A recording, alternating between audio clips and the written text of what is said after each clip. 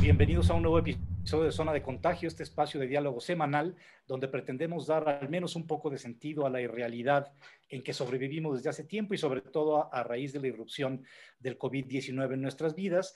Yo soy Mauricio Montiel Figueiras, estoy como siempre, como siempre, salvo muy rara excepción, en la Ciudad de México y también como siempre me acompañan mis amigos, cómplices contagiados, Mariana H., desde las estepas de Nairobi, ahora nos acompaña, ahí pueden ver, pueden ver que está realmente en Nairobi con el dinero que se genera aquí en este espacio solo para ella.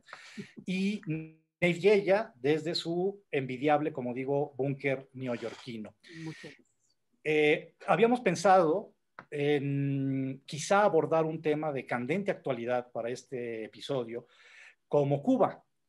Este, nos estábamos pensando en eso y le dimos muchas vueltas, pero decidimos que después de aventarnos un clavado en el MIT virtual, que es Twitter, donde saben que están las mejores mentes de cualquier generación en cualquier tema, pues dijimos ya para qué si está ya todo cubierto en el MIT de Twitter. Entonces, ¿para qué? ¿a quién le va a importar nuestra opinión sobre Cuba? Si ya hay... Twitter. Exactamente, exactamente. Influencers. Ah, exacto. Si hay millones, eh, ah, mientras hablamos ahí, están saliendo, o sea, brotando nuevas mentes brillantísimas para hablar sobre el problema. Entonces nosotros vamos a, a ocuparnos de un tema que igual, si se vuelve tendencia el día de mañana, pues ya sabemos que el MIT produce muchísimas mentes muy inteligentes y muy capaces y van a estar opinando de este tema sobre el que vamos a hablar hoy, que es el cine de horror. Un tema que a mí en lo particular me apasiona, como, como ya saben eh, Mariana y Neif, y Mariana le tiene su miedito, ahorita nos va a platicar, vamos a platicar de eso, y Neif, pues, ¿qué digo? Si es también un, eh, no también, él es un gran experto en el cine, este cine de horror, cine de terror, cine de horror. Y para hablar un poco de mi experiencia en, en la etapa AC, antes del COVID, pensé en leer solo unas 85 páginas de este libro, eh, que se publicó en el, hago el comercial completo, se publicó en el año 2007 en el Fondo de Cultura Económica. Estoy todavía, le tengo aprecio, primero que nada, porque mi queridísimo Brian Nissen fue el que diseñó la portada, uno de los, los grandes artistas aquí mexicano, español, británico, y porque tiene algunos ensayos como una, una parte de la cual les voy a leer, eh, de corte autobiográfico donde abordo distintas experiencias con pues, distintos productos culturales, por así llamarlo.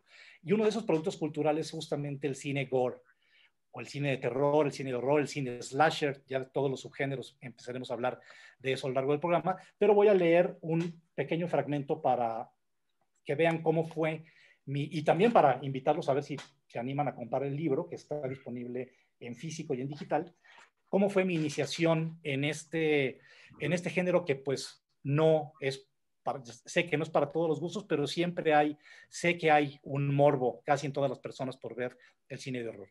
Y bueno, dice así, Scream, la resurrección no solo de un director espléndido, Wes Craven, sino de todo un capítulo de la educación sentimental fílmica de mi generación, el cine gore, me trajo a la mente mi primera incursión en ese violento microcosmos que llenó de sudor frío y novias fugaces, varios de los momentos clave de quienes vivimos la adolescencia en los 80 a ritmo de Pat Benatar, John Cougar, Duran Duran, Daryl Holly John Oates, OMD, Spandu Ballet y un inagotable etcétera pop.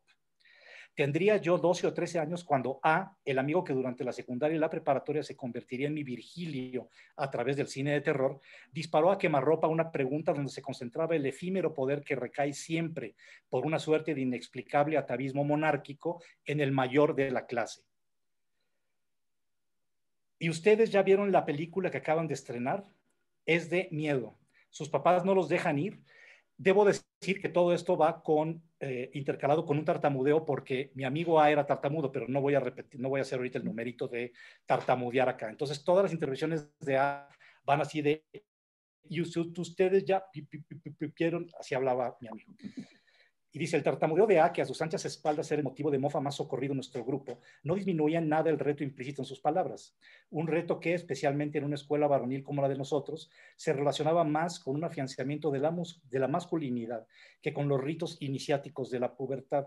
El primer cigarro, la primera revista porno, el primer pezón rosado por encima de una blusa de uniforme, mientras en la pantalla la víctima aguarda el cuchillo asesino. Ese mismo cuchillo pareció cortar en rodajas la siguiente provocación de A. Entonces, ¿qué? ¿Nadie me acompaña? ¿Cuántos muertos hay? Fue lo único que se me ocurrió decir. Y esta frase me cae que sí la recuerdo así. O sea, ¿cuántos muertos hay? Con el tiempo esa frase se volvió la llave que me abrió las puertas de un mundo tan fascinante como repulsivo, donde el número de vísceras derramadas es, las más de las veces, proporcionalmente indirecto a la coherencia narrativa. La cinta a la que A se refería era Cuando llama a un extraño, de Fred Walton. Los multicinemas que le exhibían tienen un lugar privilegiado en esa región que mi memoria reserva a las instantáneas estivales, ya que sobre todo en verano, la estación en que la sangre corre con mayor fluidez y brillo por el celuloide, tres de las cinco salas anunciaban casi semanalmente estrenos gore un festín para quienes, como yo, gustaban de dilapidar las tardes de los sábados en una butaca para salir al cabo de sesiones de cuatro y hasta seis horas, con la ropa salpicada de rojo y la mirada bobina, aunque satisfecha de los moradores de la penumbra con olor a palomitas de maíz. Recuerdo que mientras A hacía la fila frente a la taquilla de los multicinemas, su bigote incipiente le permitía pasar sin dificultad la aduana de las clasificaciones B y C. Me entretuve estudiando los afiches de la película, tratando de convencerme de que el boleto que mi amigo me entregaría no sería la entrada al cadalso del mal gusto, derritiéndome bajo una chamarra que a todas luces fracasaba en su intento por aumentarme la edad. Mm. ¿Vas a salir así con este calorón? Me habían preguntado mis padres, no sé si es cierto, dejo irónico. En el fondo, ahora lo entiendo, esa incertidumbre era, al igual que la chamarra, un disfraz no muy efectivo del temor a lo desconocido.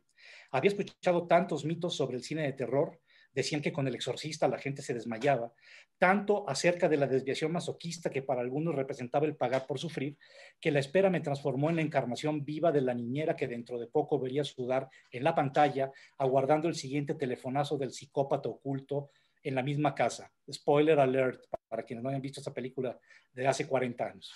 La boletera me revisó de arriba abajo, deteniéndose unos segundos sin mi atuendo invernal, para luego decir, es solo para mayores de 14 años. Tiene 15, intervino A. Es mi hermano menor. La pareja que formábamos mi amigo y yo debe haber sido tan histriónica, dos jóvenes haciéndose pasar por adultos, uno con un bigote que se antojaba borrar con un pañuelo, el otro bañado en sudor, que la mujer rompió los boletos con una sonrisa disimulada por una advertencia. Es su responsabilidad. ¿Responsabilidad de qué? Le pregunté a A mientras buscábamos asientos a la luz de un comercial de Benson and Hedges. ¿De que veamos una mierda? Pues ¿cuántos muertos hay? ¿Responsabilidad de qué? Volví a preguntarme mientras los créditos brotaban y morían en la pantalla y la niñera, interpretada por Carol Kane, caminaba al ocaso por una calle ignorando el peligro latente tras las ventanas bañadas por el fulgor de la domesticidad. El planteamiento inicial del filme era bastante rutinario. Niñera llega a casa donde cuidará niños. Padres de niños dan indicaciones pertinentes a niñera. Aquí está la cocina, la leche, el café, la sala, el sofá, la televisión, el número del restaurante donde cenaremos. Padres de niños se despiden de niñera entre sonrisas, niñera se queda en casa vacía con niños dormidos en segundo piso y llama a amiga, niñera cuelga con amiga y se despereza en sofá mostrado anteriormente por padres de niños dormidos. Y entonces sonaba el teléfono, destrozando mis nervios y los de la niñera, que en lugar de la voz de su amiga escuchaba la sentencia que derrumbaría las murallas de la intimidad contemporánea. Have you checked the children? ¿Has visto a los niños?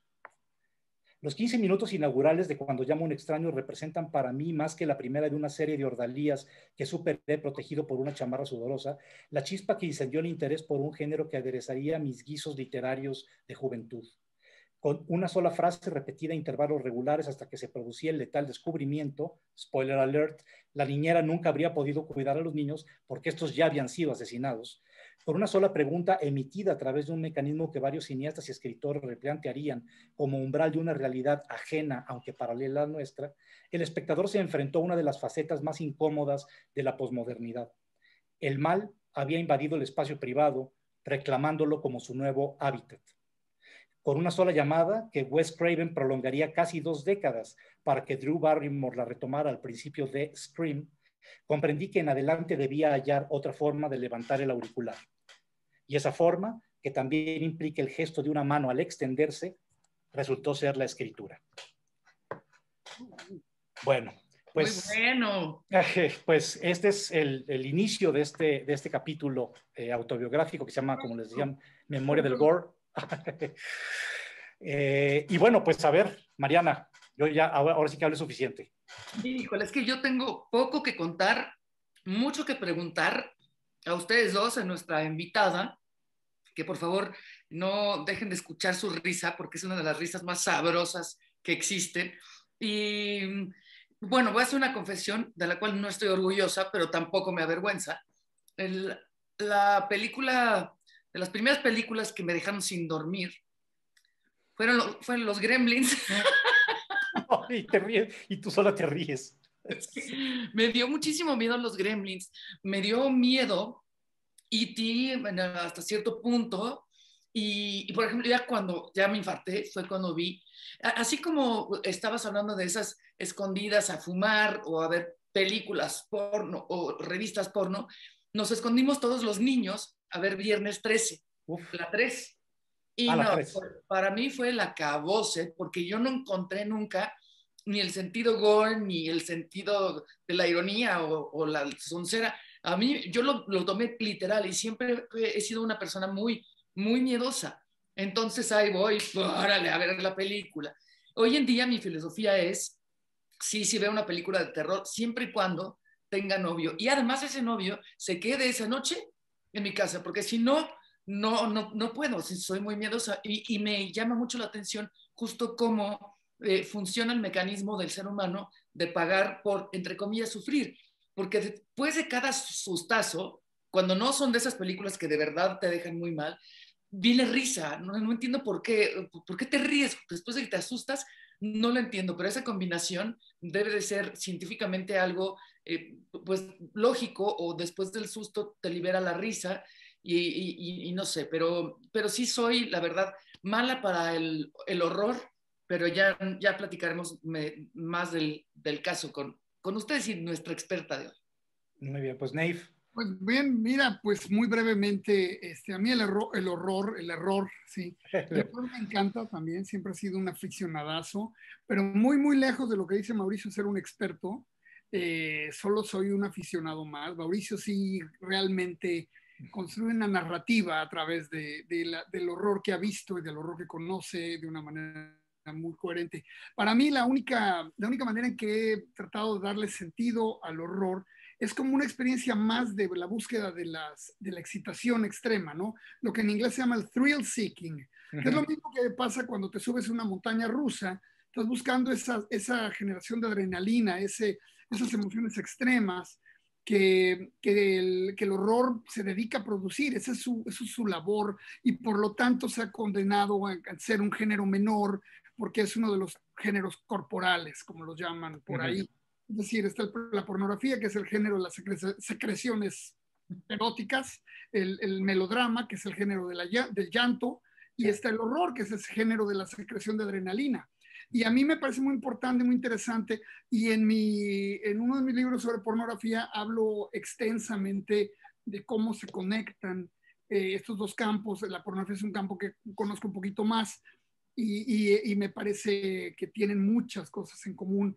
Eh, ahora, a mí me parece fundamental eh, leer el horror en gran medida estadounidense, pero no únicamente estadounidense, porque, bueno, mal que bien ha ido poniendo la pauta como gran generadores de géneros en, los, en, Hollywood, de cómo eh, la, la, el horror ha ido siendo un espejo de lo que sucede en la sociedad. ¿no? Mm. La guerra de Vietnam tiene una, una, un reflejo en el cine de terror de los años 70, que es, que es cuando realmente, desde mi punto de vista, Mauricio podrá tener otra visión y me encantaría escucharla, es cuando se dispara ¿no? La, lo, lo, explícito en el, en el, horror, porque hasta entonces, hasta los 60 teníamos eh, una, una, una, una, serie de narrativas de horror muy apegadas a ciertos monstruos convencionales, uh -huh. eh, no, no, bueno ni malo, o sea, había de todo, había bueno y malo, pero en los 70 cambia la manera en que el horror se vincula con, los, con, con la sociedad. Los 60 empieza, pero para mí los 70 es el momento muy duro, y luego los 80, luego los 90, y luego llega, llega la guerra sin fin de Bush,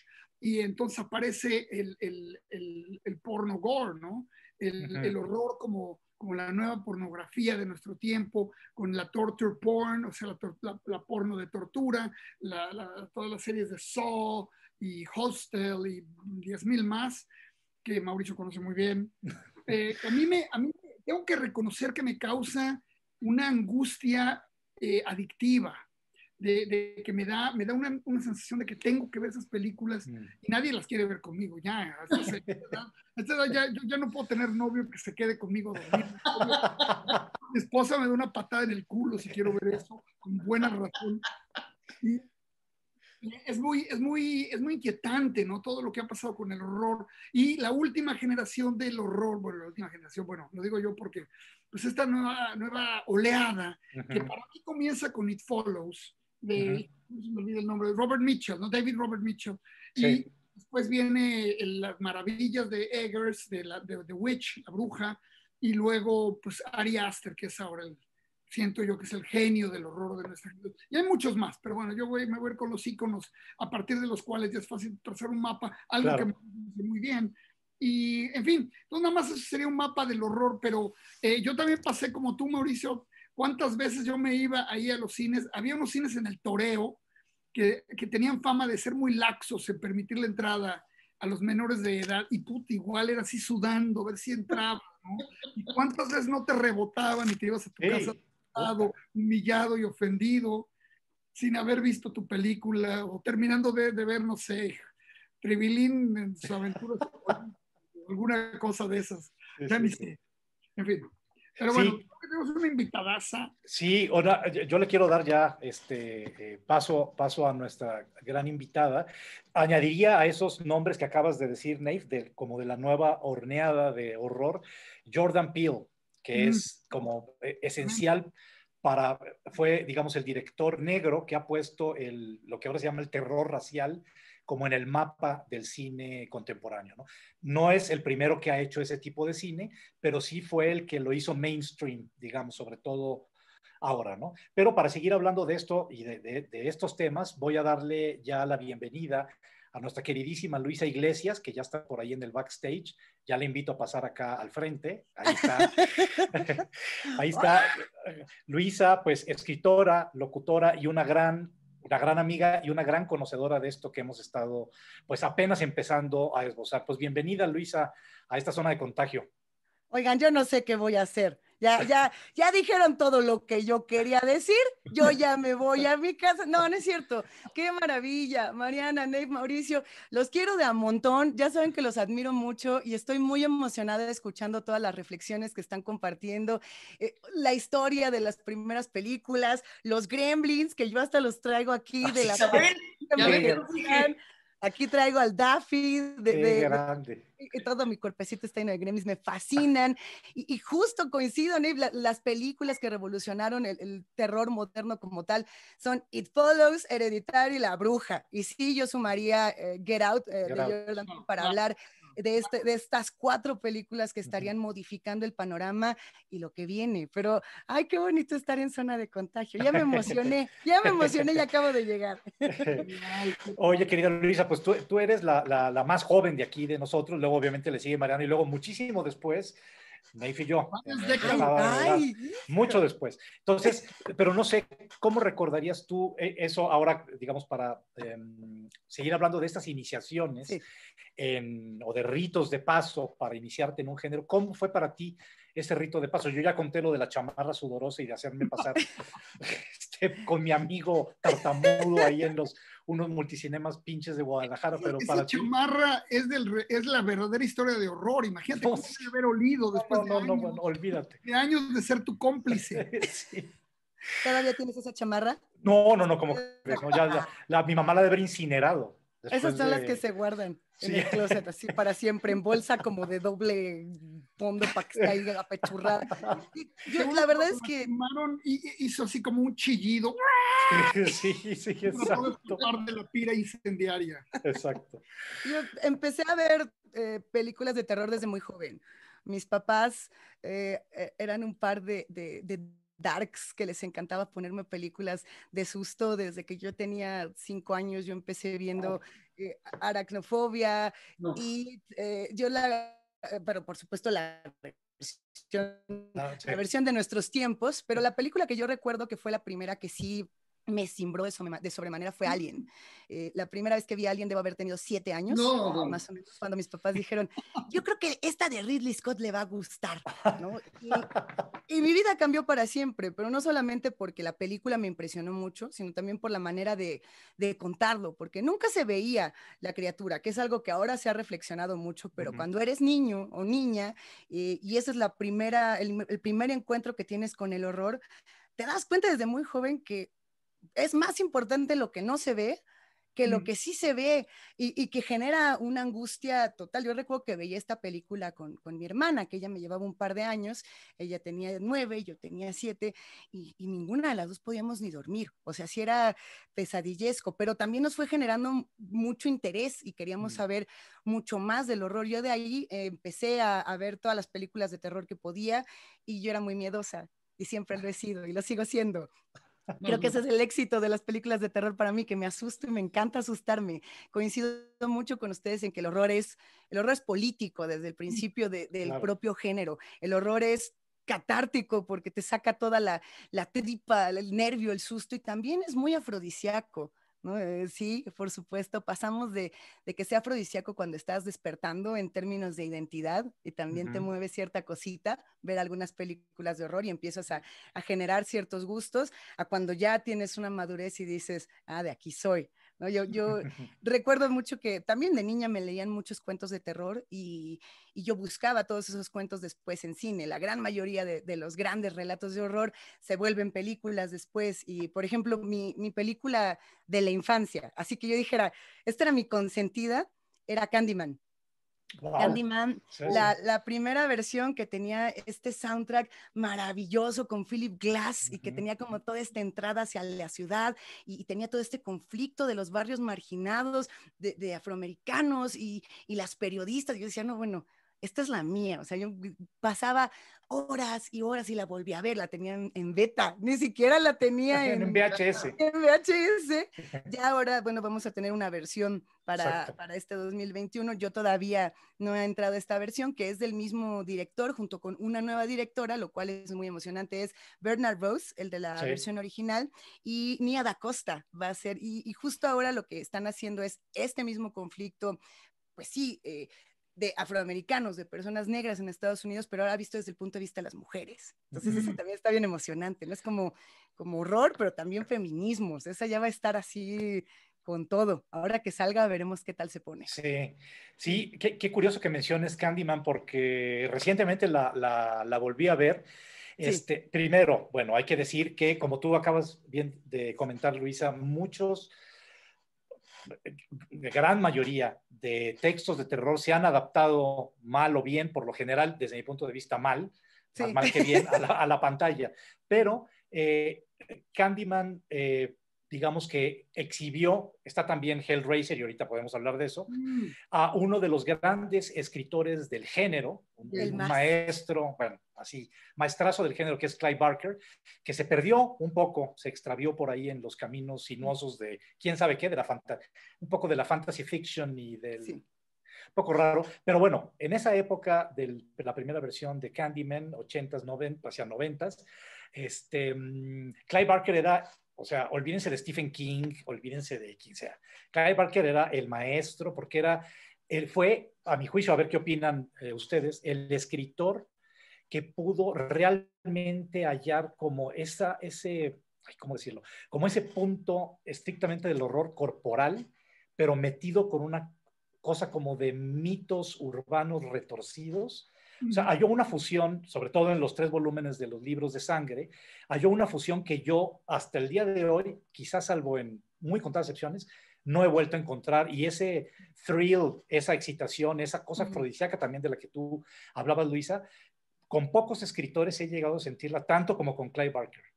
Quisiera como empezar a leerlo y decir, hijo, este tipo anda en una cosa que yo no había leído bueno, cuando, cuando se estrena Hellraiser, la película, creo que nadie estaba esperando ver al cuerpo del tío Frank eh, totalmente despellejado en el closet diciendo, dame una piel. O sea, yo creo que ese es uno de los momentos en el cine donde todos dijimos, ¿Qué? ¿Qué acabo de ver? ¿Por qué me hicieron? Cuando uno dice, ¿de dónde vino esto? Y empieza a leer Hellraiser, y empiezas a leer todos los, cuentos de Clive Barker, lo prohibido, todos los de los ataques en, el metro y demás, te das cuenta de que es un autor muy completo y que justamente remodela el horror corporal. Digo, tendríamos que regresar hasta Mary Shelley para el principio mismo de la mm. ciencia ficción y del horror corporal como tal, pero este es como uno de esos cambios y de esos parteaguas en, en el horror, así como ahora con COVID-19, ¿no? Por ejemplo, tendremos un, un parteaguas y tendremos otro tipo de directores y otro tipo de narrativas. En los años 90 estuvo ese, estuvo Clive Barker, que yo creo que muy pocos directores pudieron acercarse a ese tipo de horror, que no solamente era un er, era horror del que te genera mucho asco por ser corporal, sino que, te ponía que te ponía muy nerviosito y como que te gustaba la tripa, ¿no? Como que decías, la, neta, la neta sí me gustó ese despellejado, pero no lo quiero decir. Y además había muchos temas de abuso, muchos temas de mucha violencia y generaba esa atracción que más adelante explotó y reventó con directores ya como, no sé, como el uruguayo Fede Álvarez, por ejemplo, ¿no? Que hacen todo este género de, tortura y de ultraviolencia, lo que estaba, lo que estaba comentando Nate de, la ultraviolencia y el, y el porno gore, terror, que, que también es, pues sí tiene una parte muy sensual, que, no, que exploramos ahí para no explorar acá, ¿no? Como toda la ficción, que se quede en la pantalla para que yo regrese a mi casita y me duerma y diga, ay, no, a mí esto no me encanta, ¿no? Podamos fingir que no. Es que sí, sí, sí, Hay, hay, mucho de, hay mucho de erótico en toda esa corporalidad, pero yo les quería también preguntar, em, también, o sea, se necesita mucha maestría para escribir horror, ¿no? Yo siempre he pensado, no desde el punto de vista de una escritora, por supuesto, pero siempre he pensado que es, hay dos, dos géneros que son muy difíciles, el escribir de horror y escribir eh, de sexo, lo erótico. O sea, si no eres muy, muy preciso en los más mínimos detalles, no funciona y lejos de darte miedo te da risa y lejos de calentarte te da pues risa o hueva, ¿no? Puede ser también. O fuchi. o guacala, exacto. O fuchi. Eh, y además no cuentan con el recurso como en el cine o como en la radio, que también lo que Luisa por supuesto hace radio, del susto, o sea, del inesperado y que tienes el sonido y tienes las luces y tienes la oscuridad y esos elementos yo creo que son muy efectivos a la hora del susto, que no es lo mismo que el horror, pues, ¿no? Porque es el, efecto sorpresa. Pero eh, en su caso, me gustaría también saber que, que nos dieran tres autores, ya nos dieron uno, tres autores que en ese sentido funcionen en, la literatura, más allá, de, más allá de que hayan sido llevados a la pantalla grande, para que nuestros televid no, eh, YouTubeidentes. YouTubeidentes, exactamente. Este, también le, le entren a esa disciplina, a esa experiencia de leer horror. A ver, bueno, Mauricio creo que es el que es más docto, eh, literario, cinematográfica. Eh, eh, para mí, fíjate, eh, no, no estoy seguro. Lo que buscas es que hablemos de libros, Mariana. No, no, bueno, si, quieres, si tienen... Autores o, cineastas también, ¿no? Pues sí, sí, sí, un, un como For Dummies, pero tampoco hardcore. porque si yo, empiezo con lo hardcore, ya no regreso nunca. Pero bueno. por ejemplo, es muy importante para mí hablar, por ejemplo, de, pues de, Romero, ¿no? George Romero. Hablar de Carpenter. Hablar de, pues, de Sam Raimi.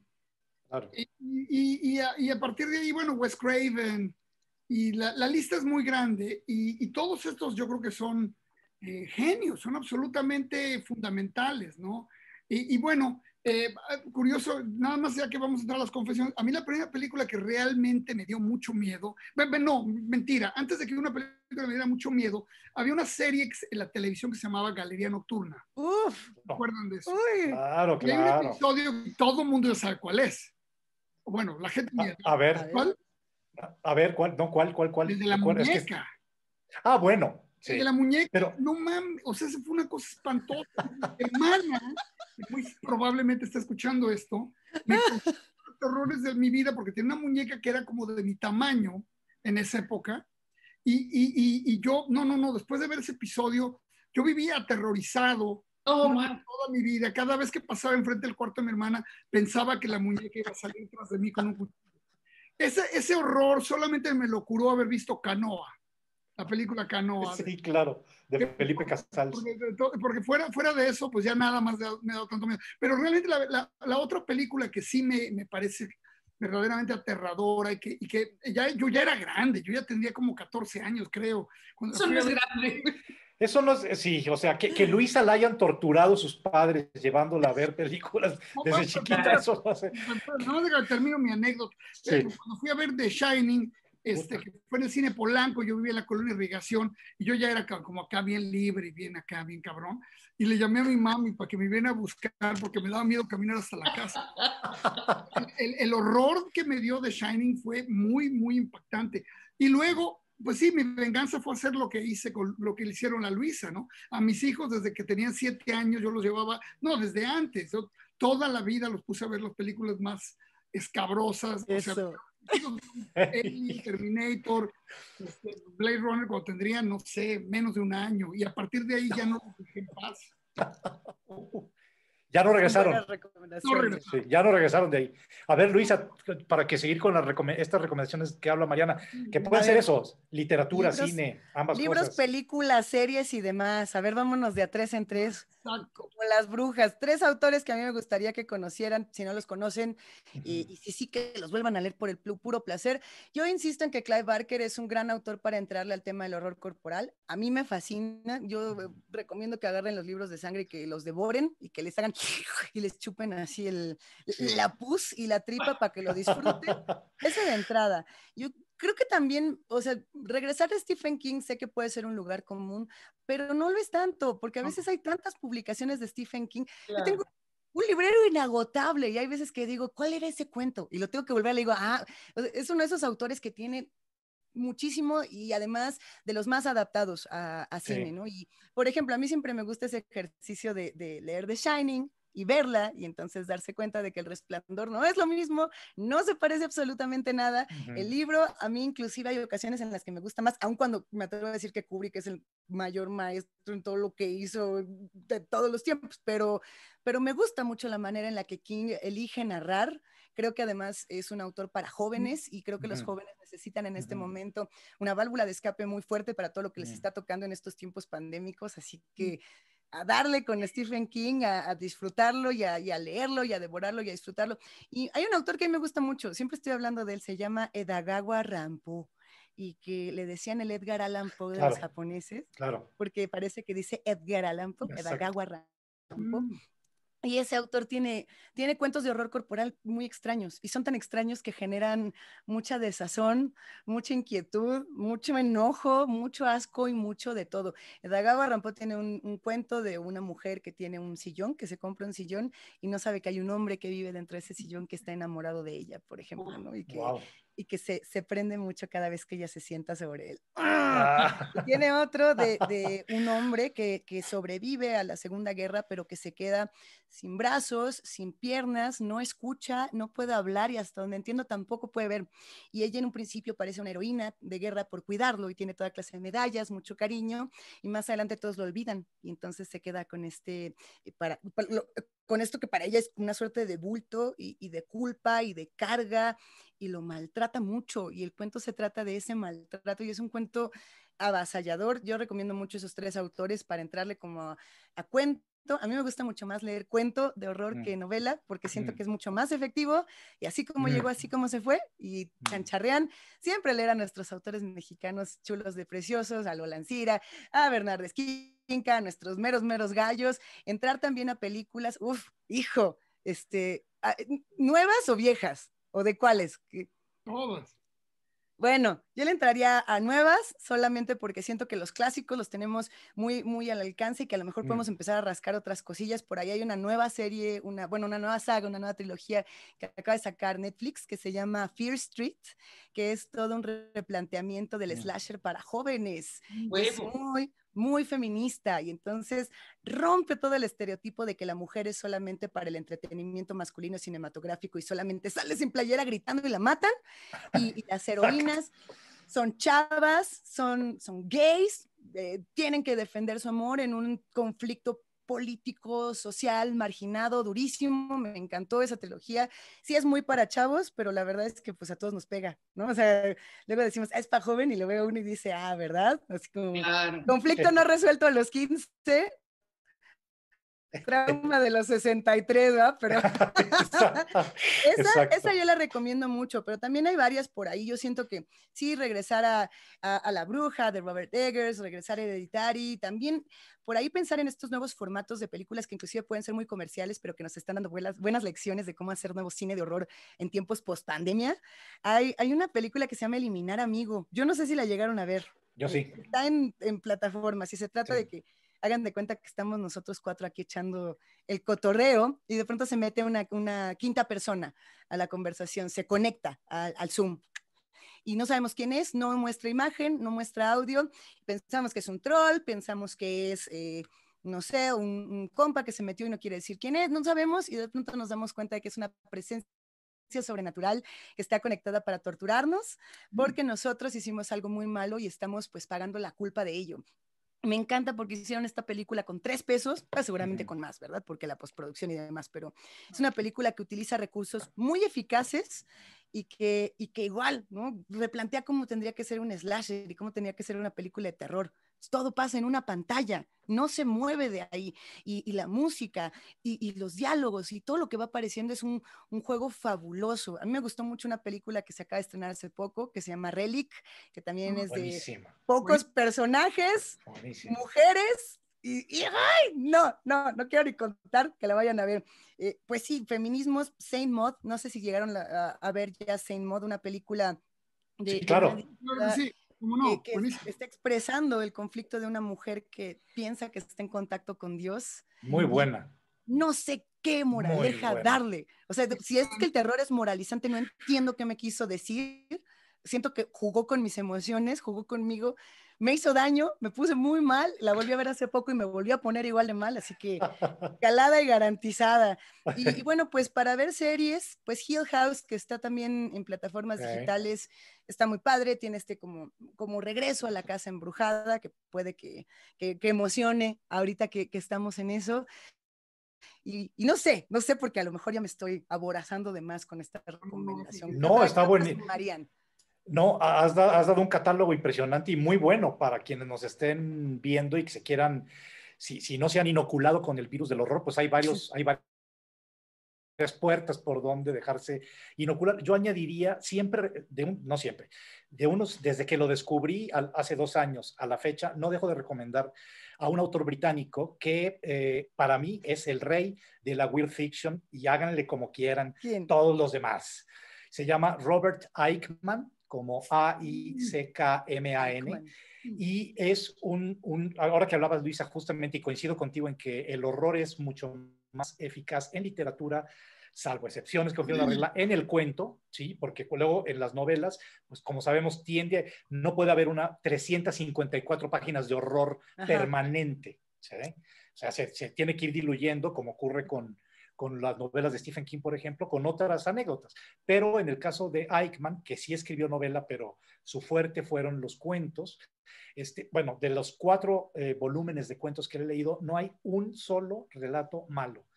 Y es de verdad muy impresionante leer este autor que pasó inadvertido, ha pasado inadvertido, se ha vuelto esta cosa que es como, como decir, bueno, pues es invisible, que es, ah, ese es un escritor de culto, o sea, no existes, brother, porque eres de culto, ¿no? Entonces yo prefiero decir que es un gran escritor no reconocido, esperemos que en algún momento le llegue el reconocimiento que merece, sobre todo ahora que ya ha habido muchas series como, por ejemplo, True Detective, que me volví a chutar y que recomiendo, por cierto, ahora hablando de productos audiovisuales, de horror, de terror, este, la primera temporada la he visto ya cinco veces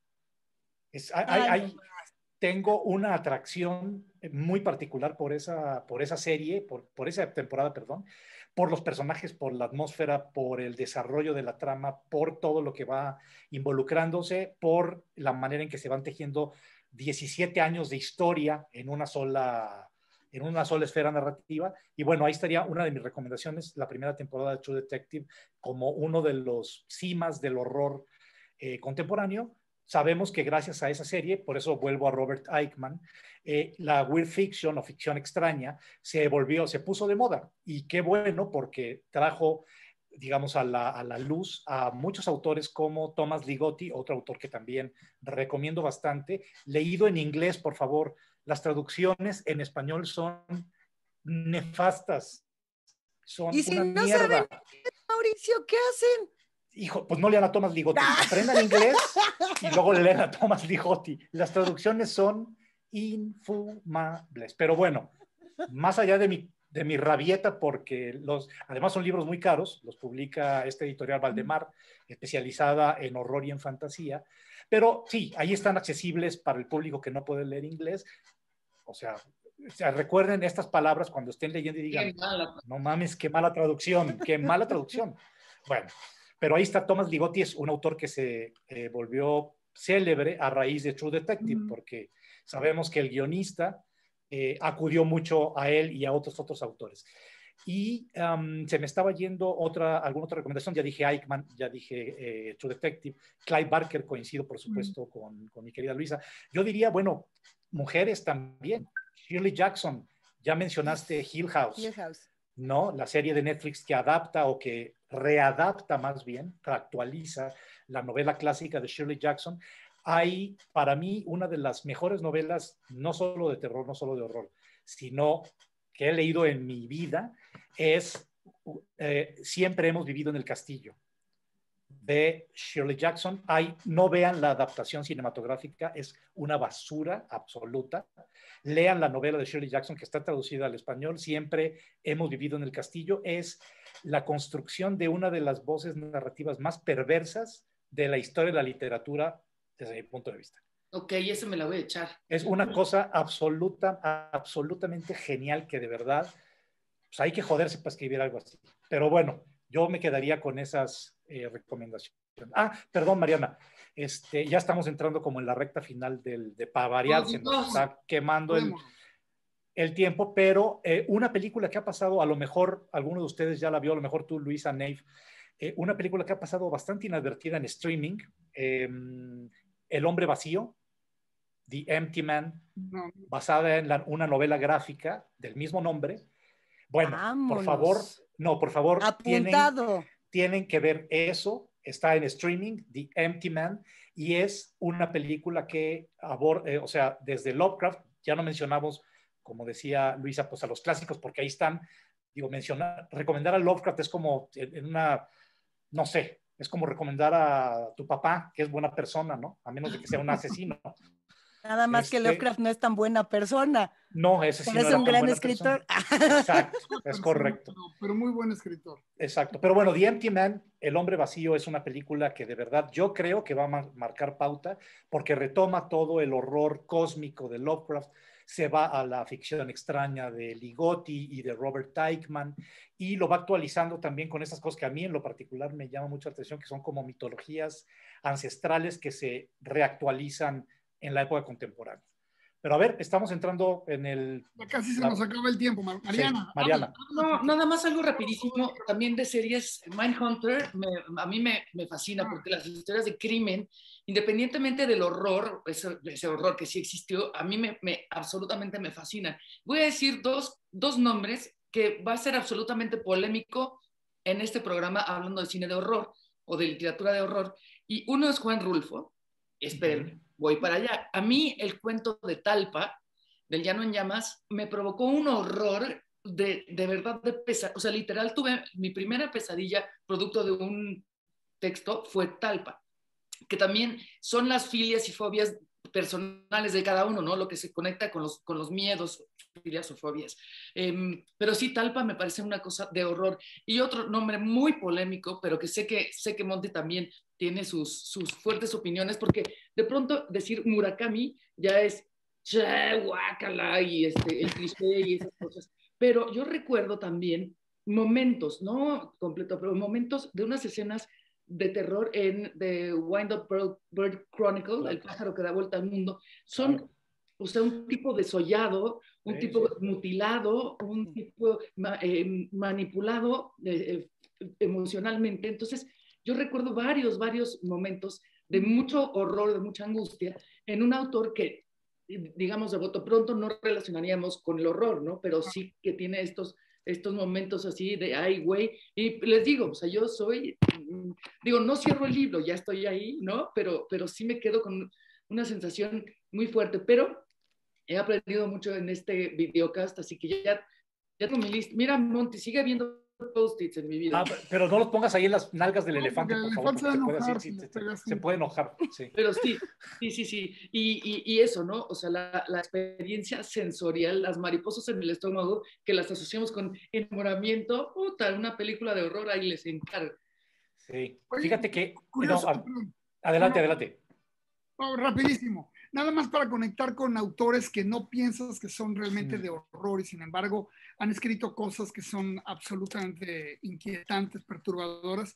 Para mí, eh, quizá mi novela favorita, y ya sé que los literarios se burlan de mí por eso y me vale mal, absolutamente, es Crash. Crash de Ballard. Claro. Es mi, es mi Biblia y es, mi, es el libro con, con, el que me van a enterrar seguramente. Eh, eh, y, y, me causa un espanto tremendo cada vez que regreso a él, releer esos párrafos donde, donde, donde va analizando los resultados de, una, de, un choque, ¿no? Cómo el cuerpo se va desmoronando, se va transformando, se va deformando en su contacto con el metal, con el plástico, con las demás partes del automóvil. En fin, me parece que es algo parecido, creo yo, a lo que Mariana decía. Y, y bueno, nada más una cosa. Eh, eh, generalmente nos enfocamos tanto en el, en el horror americano. Eh, tú, bueno, mencionaste un poco el mexicano, pero a mí hay varias cosas del horror francés que dices tú, cuidado. O sea, nada más pienso en Raw de Ducournau, Mujer, de Ducournau, que es una proeza, es una cosa maravillosa. Y Mártires también es una, cosa, hablando de desollados, de, de, de Pascal Loger, y hay varias más, pero bueno, esas dos son como para tomarlas en cuenta y ponerlas ahí en el pedestal del, de lo más eh, significativo, ¿no? Claro, ahora que decías tú, Mariana, qué curioso lo de Juan Rulfo, por supuesto que coincido contigo. Una eh, conferencia que me invitaron a, a, dar en torno de Juan Rulfo, y yo escogí eh, Pedro Páramo, pero la leí en clave zombie. Entonces hablé de Pedro Páramo como una novela zombie. Obviamente, al día de hoy, los, los puristas no me perdonan eso. ¿Cómo es posible que este güey se le ocurrió, Pedro? Es una novela de zombies, por amor de Dios. O sea, son muertos vivientes. ¿Cómo son? Zombies, ¿verdad? Entonces, no, o sea, se me echaron encima porque ¿cómo era posible que dijera que Juan Rulfo había escrito de zombies? En, en Comala, como en Jalisco. Qué, bien. ¿no? Y también coincido por completo con lo de Murakami, que pues obviamente lo tengo muy fresco por haber escrito algo recientemente y por haber leído su libro más reciente hace muy poco. Siempre en, o por lo menos en la gran mayoría de textos que conozco de Murakami, hay un elemento de una especie de horror metafísico que se va colando ahí y que, claro, la gente que dice, ah, es que eso es muy fácil, es, ah, y es que es el lugar común. Brother, te invito a que te escribas unas paginitas como las de Crónica del pájaro que da cuerda al mundo y luego cuando las escribas, hablamos. Bien. Levantes. No, y yo recuerdo, ya para darle la palabra este, a Luisa para ir ya, este, ahora sí cerrando este episodio, que se puso bueno, ¿no? Muy bueno. Este, aquí me voy a ir corriendo a leer a Clive Barker, por cierto, yo lo estoy viendo. Este, de tanto hablar se me fue la onda de lo que iba a decir, fíjese nomás. Mm. O sea, no, de Murakami, ya, Murakami, Murakami. En Sputnik, mi amor, que es la novela que yo siempre recomiendo para la gente que me dice, oye, ¿con qué le entro a Murakami? ¿Por dónde le entro? Digo, Sputnik, mi amor, es una novela que no es Crónica del pájaro que da acuerdo al mundo, no es Kafka en la orilla, no es La muerte del comendador, y sin embargo es una novela que tiene todos el mejor Murakami condensado en menos de 300 páginas. Y hay ahí, spoiler alert, una de las escenas de horror que a mí realmente solo de recordarla se me vuelve a enchinar, encuerar el chino, que es cuando, si la leyeron, recordarán que hay una mujer que es de la que se enamora el narrador y que tiene una experiencia en una rueda de la fortuna a la que se sube para, está, me parece que en Suiza, si la memoria no me falla, y dice que, bueno, ella está teniendo un conflicto ahí erótico, amoroso con otra chava, que es como la chava joven de la novela para formar este triángulo maravilloso de eh, murakamiano.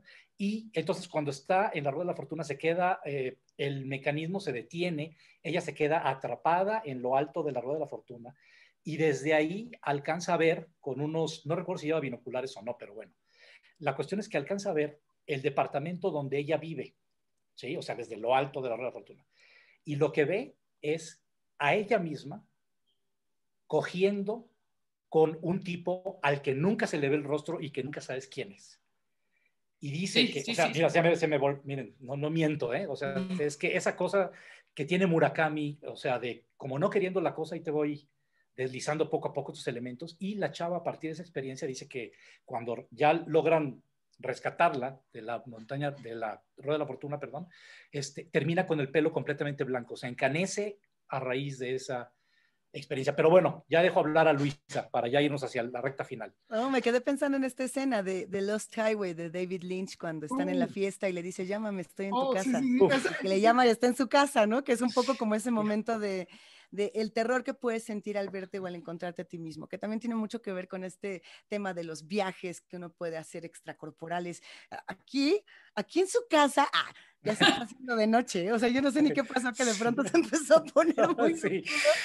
Yo me quedaría con, con, la reflexión de lo que ocurre a partir de la pandemia en el horror, sobre todo en el cine, y mm. solamente para recordarle a todos los que nos observan que el terror como tal, y particularmente el cinematográfico, también el literario, por supuesto, porque todo, además el guion cinematográfico es un acto literario, entonces es más en el horror, no es un género menor, es un género complicadísimo que además siempre tiene que tener dos narrativas, una que es la superior, digamos la de encimita, que es el terror sobrenatural, que puede ser una explicación y siempre por debajo tiene que haber un terror psicológico, un terror político, social, que tiene que ver con el reflejo del tiempo en el que estamos viviendo. Y uno puede elegir cualquiera de las dos realidades para contar una película, ¿no? Y decir, no, en esta película no se trataba de, de un demonio, se trataba de una niña que estaba viviendo eh, abuso familiar y que sus papás se acaban de separar y bueno, pues después se puso a jugar a la Ouija y empezó a tener toda esta serie de proyecciones y es el exorcista, ¿no? Así de sencillo. Eh, si pensamos en eso, yo me quedaría con este mapa de lo que es el terror en el mundo y pensar a partir de ese mapa y de ese mapa cinematográfico qué es lo que nos va a dar miedo después del COVID, ¿no? Pensando, por ejemplo, en, en Estados Unidos como el miedo al migrante, el cierre de fronteras, que no terminó con Donald Trump, que sigue hablándose de ello ahora con la presidencia de Joe Biden. Y entonces, bueno, pues tenemos el miedo al zombie, por así decirlo.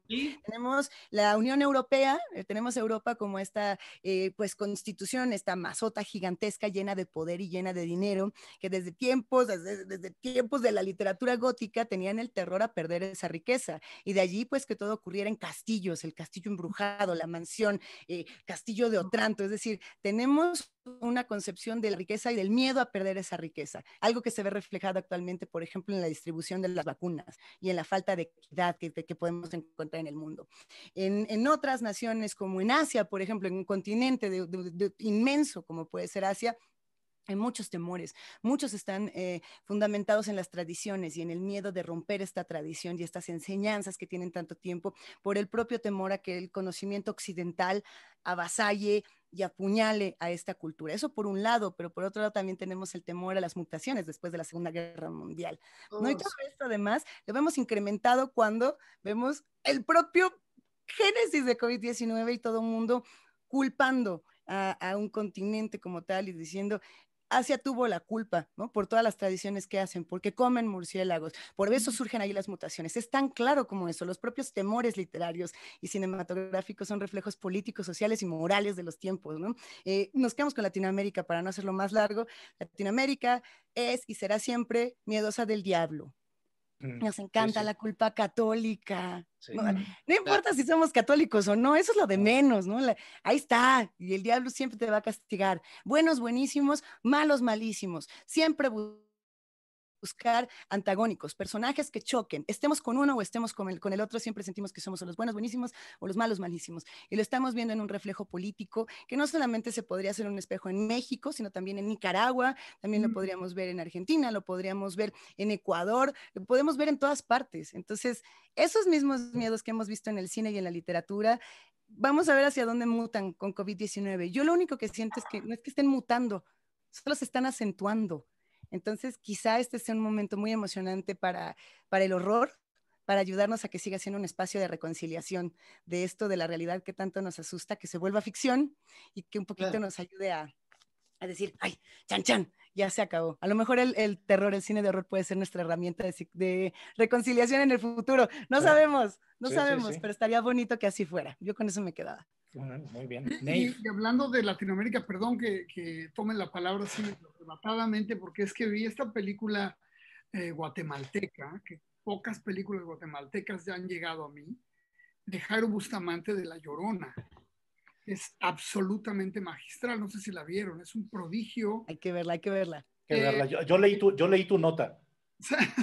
Gracias, Mauricio. Muy buena, por el único, cierto. el único, sí, me llegó el reporte que, había, que alguien la había leído. una lectura.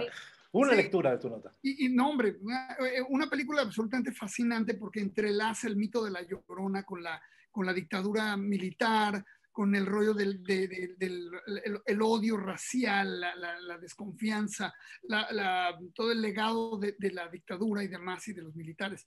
Pero también eh, ya ni hablamos de horror japonés realmente. Exacto, exacto. Y esa es otra, otro de las grandes, grandes íconos de nuestro tiempo. Pues, ¿ah? ya no, de hecho, ya no podemos pensar en el horror sin pensar en las, las películas japonesas, Claro. Audition y todas otras cosas que, que han cambiado nuestra perspectiva de lo, de lo espantoso. Y a mí una que en particular me puso a, a chillar de miedo, No, de Kurosawa, Kiyoshi Kurosawa, Claro. no, no Kira, Claro. que es absolutamente impresionante, es una obra maestra. Sí. En Pulso, no sé cómo se llama en español. En, ca- en ja- sí, en japonés se llama Cairo y en, en- Cairo. Cairo. Y, y en, en inglés es Pulse, claro. Hicieron, por cierto, para lo que hacen los gringos, un remake que es una una- lo que le sigue de mierda. Iba para arriba, no para abajo, lo- lo- para abajo. Y luego, mierda. eh, hablar de, bueno, de, hablando del horror mexicano, hay uno que a mí también me parece muy importante y mencionarlo, porque no está haciendo cine de horror, está haciendo costumbrismo y puta, qué cosas espantosas salen. Eh, Amate Escalante, ¿no? Que, que Claro, más claro. aterradoras y buenísimas. Yo creo que es un gran, gran cineasta. Y, y, y es uno entre ya muchos, ¿no? Que han venido, ya tuvimos aquí a alguien que hacía horror, este, a a Jorge Michel Grau. Michel Grau. Que, que, por cierto ya va a estar próximamente su, su nueva película que es de horror. ¿No? O sea, Sí. la- el- Y bueno, y yo nomás terminaría con una cosa que es importantísima para mí. Porque empecé hablando de eso, política y horror. Ujú. Y para mí fue un momento de transición en mi, en- intelectual haber descubierto el libro de Carol Clover que se llama Hombres, Mujeres y Sierras Mecánicas y Sierras Wow. Eléctricas, Man, Woman and Chainsaws. Ese libro a mí me cambió la manera en que vi el cine y, y- y la manera en que entendí los estudios culturales. Es un libro obligatorio para todo el mundo que le interese esto. Y por supuesto, las referencias a una de las películas más importantes y que también es la conexión total entre la guerra de Vietnam y la apacible realidad estadounidense que fue The Texas Chainsaw Massacre, ¿no? Eso. Otro gran, gran, gran director. Pero ya, no me- ya no digo más. Porque ya, tenemos que hacer forzosamente, siempre decimos que vamos a invitar y que vamos a hacer otra parte, pero de verdad, todo, esta, todo esto que tiene que ver con el cine de lo que tú decías, de otras latitudes, nos, Mm, claro que nos centramos en el cine norteamericano, por obvias razones, porque pues, porque pues mexicanos, ¿verdad? Y porque estamos ahí pegados a esta fregadera acá al norte. Pero fregadera y también maravilla, ¿no? A las, dos- las dos cosas. Pero toda la parte asiática, por ejemplo, todo el horror asiático y todo el horror también, como tú dijiste, Neif, el horror francés, películas de horror de Alemania, de Bélgica, de, bueno, todo el cine guialo de. Darío Argento uf, todo el cine de Darío Argento de Italia, de los años 70. Bueno, nos quedamos súper cortos como, como, como habrán visto, pero ahora sí que tenemos que hacer una parte, así, así como hay viernes 13, 1, 2, 3, 4, 5, 6, 7, tenemos que hacer esto la parte... Luis dos. Iglesias 1, Luis Iglesias 2. Exacto. Vuélvanme a invitar, Exacto. por favor. No, es que, es que este, es, es que es un tema además por todo el, con- la, contextualiz- la contextualización política y social que tú hiciste, Luisa, que me parece súper interesante y súper importante para no pensar que nada más son señores con sierras eléctricas percibiendo gr- gringas tetonas a las que van a matar nomás, ¿no? Después de que las desvirgaron, entonces el castigo llega y chao. Exacto. ¿no? Este, para que no se queden con esto, pues hay que seguir abundando en esto y para eso hay cines de otras latitudes que sí abordan esto así más frontalmente, ¿no? Este cruce de política, sociedad, eh, con, contexto histórico, en fin, nos quedamos muy cortos, pero prometemos una Luisa Iglesias 2, por lo menos, ¿no? Y yo me quedo para, despedir el programa y cederle la palabra a Neif para que hace la despedida oficial. Eh, una película que para mí este, se me quedó así.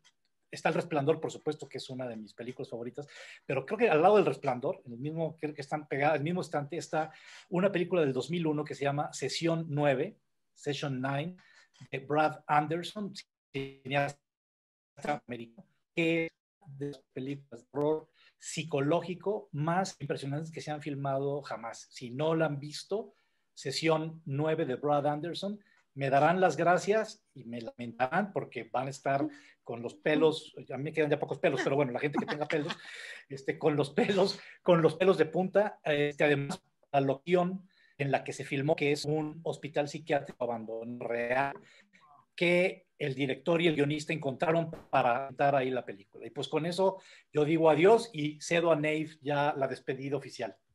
Nada más, Mariana, ¿no quieres decir algo antes de que nos despidamos? No, no, que tengo es que me da miedo, me da miedo. Bueno, tengo una... consigue, en Nairobi debe haber novios. Debe haber, un mercado.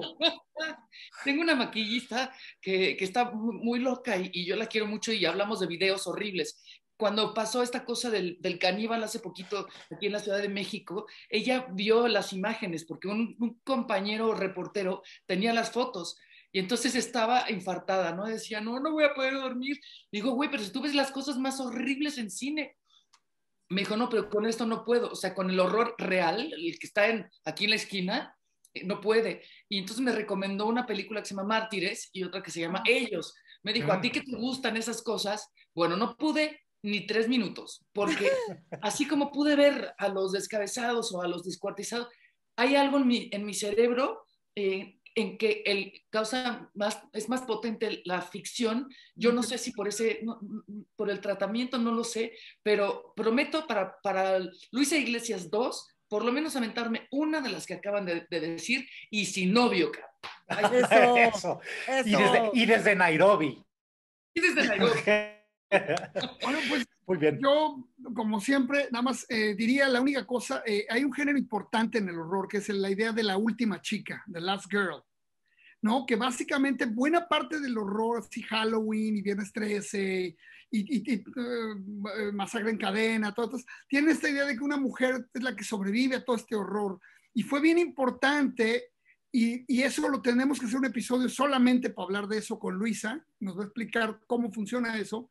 Y mientras tanto, yo nomás les pido, píquenle al suscribo, al me suscribo, píquenle al me gusta, díganle a sus amigos, a sus familiares, a sus, a sus compadres, a sus novios, a sus exnovias, que le piquen y que vean, porque solamente así va a sobrevivir esto. Estamos a punto de que de, que, de irnos con, con, con Mariana Nairobi. Si no. Muy bien, pues gracias. Gracias, Luis Iglesias. Gracias. Y hasta la próxima.